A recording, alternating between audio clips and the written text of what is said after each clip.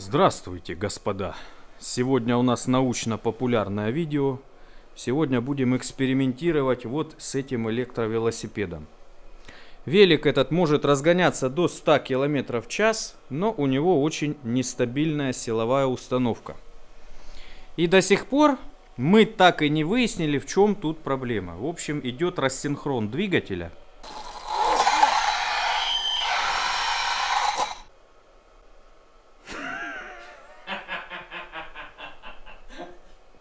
если резко дать газ, то что-то у нас не вывозит. То ли регулятор, которых мы уже перепробовали большое количество, но они все были плюс-минус одного типа. То ли сам двигатель шизит. И регулятор просто его отрубает, не дает ему там перегореть и прочее. В общем, все на защитах. В моем понимании регулятор должен работать так, чтобы давать максимально. Даже если двигатель упирается, чтобы регулятор просто сжигал двигатель но пытался его раскрутить. И у меня были такие регуляторы. Вот в этом самолете Регуль уже пережил три двигателя. Один раз прям отгорели провода и полностью сгорел двигатель, все это дело коротило. Регуль нагрелся адски, но тем не менее он выжил. И он запускает абсолютно любые моторы с любым КВ и все прекрасно работает. Вот поэтому у меня закралась мысль, а что если сюда купить такой же регулятор и попробовать? Проблема в том, что они здесь довольно-таки мощные и стоят очень дорого. Но я таки подкопил деньжат и приобрел вот этого красавца. Топовой фирмы Hobby Wing. Сейчас я вам покажу, как он запакован. И мне что-то подсказывает, что ваш iPhone гораздо хуже запакован, чем этот регулятор. Хотя это просто коробочка с радиодеталями. Но зато это самый топ. Я, конечно, когда в первый раз увидел, ну, немножко удивился, мягко говоря, от качества этой упаковки. Итак, смотрим, ребят. Сверху чехол из очень качественной бумаги. Снимаем его. Внизу нас ожидает коробка. Она разделяется на две части. Так. Встречают надписи всякие разные интересные. Здесь есть язычок. Оп. Открываем, видим, регулятор лежит. Вот он, собственно, какой. Надеюсь, сегодня мы рассинхрон победим раз и навсегда. Но это еще не все. Упаковка нас не перестает удивлять. Продолжаем рассматривать. Здесь же еще есть один отсек с язычком. Оп. Внутри лежит конверт. И это отдельная коробка. Смотрим, что в конверте. Ну, а в конверте различные проводочки, инструкция и аксессуары. Кстати, этот регулятор, он с вентилятором. Нужно его будет установить, дабы не перегревался. Ну как вам, друзья, как вам такая упаковка китайской ерундовины, казалось бы, да? Обычно такие штуки приходят просто в таком вот простеньком пакетике. Но тут что-то ребята решили не то что удивить, а просто поразить на повал.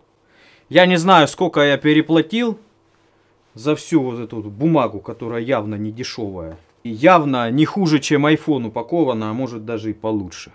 Ну, короче, как-то так. Надеюсь, не более двух штук я переплатил за это. Но я это буду помнить всю жизнь, ребят. Потому что событие запоминающееся. Он на 14S и на 200 ампер. Если все это помножить, получается на 12 киловатт. По своему опыту скажу, что 100% он будет выдерживать эти показатели, потому что все время есть запас у Хобби Винга. Чтобы вы понимали, регули на 80 ампер 120 тоже выдерживают. Кратковременно, но выдерживает. Ну а долговременно я не пользовал, потому что быстрее батарейки садятся. Ссылочку именно на этот регулятор и на этого продавца я оставлю в описании под видео. Ну а вы, ребята, досмотрите до конца, чтобы понимать, работает он в таких жестких условиях или нет. Ну, честно говоря, мне кажется, мотор попался бракованный, потому что ни с какими регуляторами он не хочет работать. Я три пробовал. Так, ну все, ребят, поставил новый регулятор. Вот он, красавчик. За место этой бандуры гигантской. с конденсаторами. Видите, даже тюнинговали конденсаторами. Здесь огромная подборка мощных кондеров. Но все равно это не помогло. Сейчас пытаюсь подогреть аккумуляторы. Сначала нагрел алюминиевую болванку, и вот они лежат под одеялом, греются. Эта процедура для того, чтобы повысить мощность. Потому что если они даже вот плюс 5, плюс 7, уже не очень мощные. Нужно подогреть до 20, а лучше до 30 градусов, чтобы они отдавали максимальную мощность. Все, сейчас греем, ставим и будем стартовать. Ну что ж, мы готовы сделать первое испытание. Коннектим. Так. Вроде пищит. И адски пищит. Ну что, попробуем поддать газку. Да ты что? Пробую сопротивляться. Но он не выключается, ты знаешь, я на всю дал. Ну да, и нету срывов никаких. Дымок пошел, даже резиной завоняло паленой. Сейчас попробую измерить начальный ток на проводах. У меня есть специальный измеритель, тестер, который может измерять именно постоянный ток. Токовые клещи.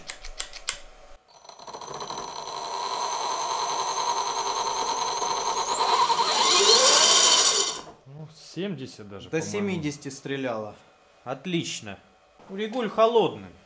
Да ты что? Поехали пробовать. Холодно, конечно. О!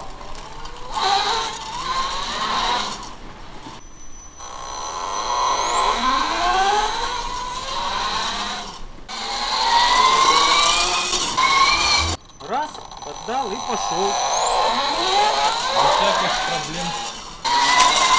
Мне кажется, даже тока жрать меньше будет. Так, ночью это, конечно, все было хорошо. Но давайте заново попробуем днем протестить получше. Плавненько трогается. Поеду, попробую прокатиться чуть по гаражам. Как оно?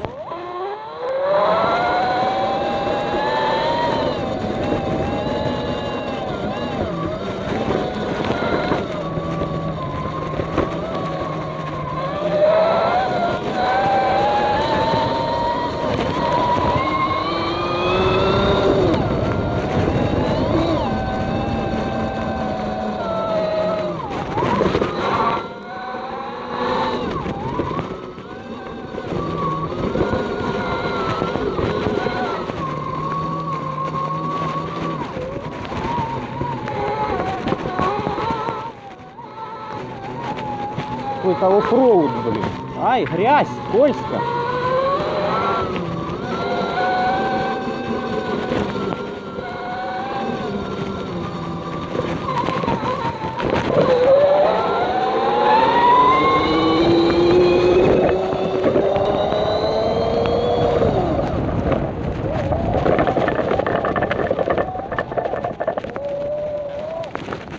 Ух, глаза слезятся, жесть. Конечно, на велике в такую погодку только и ездить.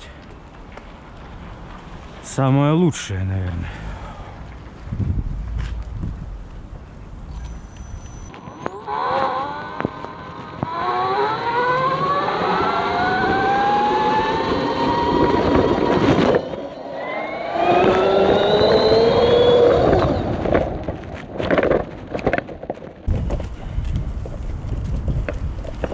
Да уж. Ребята, жесть полная. Полная вообще жесть. Ездить можно. Круто. Давайте собаку догоним.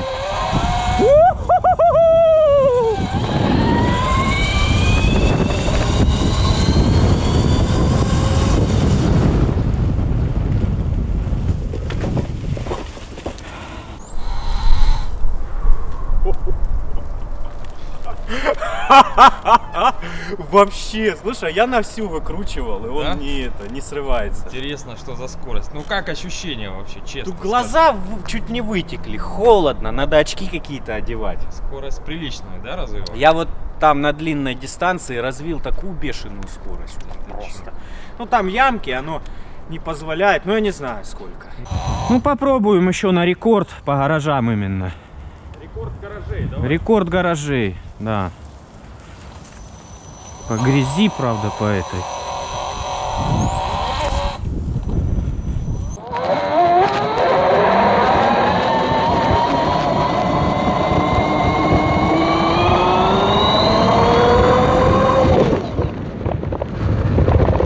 Да ну его нафиг, блин. Какая трясучка, собаки в шоке. Трясучка жесткая, ребят. Да не, ну куда так гнать? Кривая дорога, я чуть с седла не выскочил. А собаки в шоке, даже не кидаются. Они такого не видели никогда. Вообще-то они на велике прыгают все время. Но не в этом случае. Так, ну что ж. Погнали еще разочек. Пробую камеру повыше.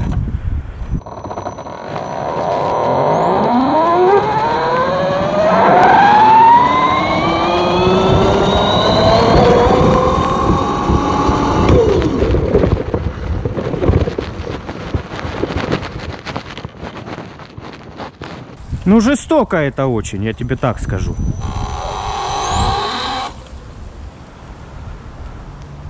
Все, я больше не хочу. Я там чуть не выскочил с седла. Ну вот такие получились испытания, ребята. Все-таки хороший, современный, мощный регулятор оборотов решает проблемы. Правда не на 100%, потому что у него нет привязки к оборотам двигателя. И все равно, если с малого газа резко на всю дать, все равно идет рассинхрон. Но если более-менее плавно все это делать, и если хотя бы с полгаза давать на всю ему, то он вообще спокойненько разгоняется. Ну, спокойненько это конечно, мягко сказал. Очень жестко он разгоняется. Все-таки велик имеет двигатель в 15 киловатт. Да уж. Так что такие дела. Кому интересно посмотреть, сколько денег я отдал за регулятор, оставлю ссылочку в описании. Ну а у меня на этом все. Кому было полезно, интересно, подписывайтесь на канал. Поддержите лайком. Всем пока. До новых встреч.